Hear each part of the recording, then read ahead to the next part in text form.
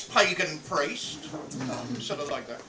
Um, and we held a thing recently, as you know. I thought it was very open and very embracing. Uh, we did our best. Uh, certainly Freya, who was a, a sort of stern critic on those things, was very pleased. David Beth was very pleased. But we were described in terms tantamount to a Nuremberg rally. Um, I wish I had the money to put one of those on. I'm sorry, I don't. Um, so, you know, um, you may sort of, boo hiss, David, you terrible old fascist, get off. I'm not, you see, I'm not.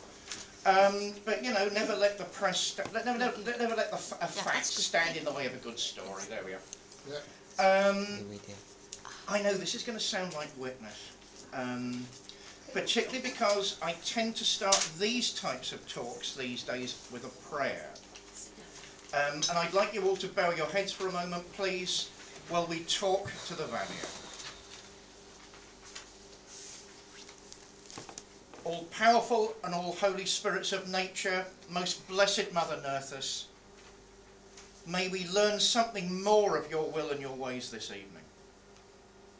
May the words of my mouth and the meditations of my heart do justice in my own small way to the mysteries of life and the mysteries of nature.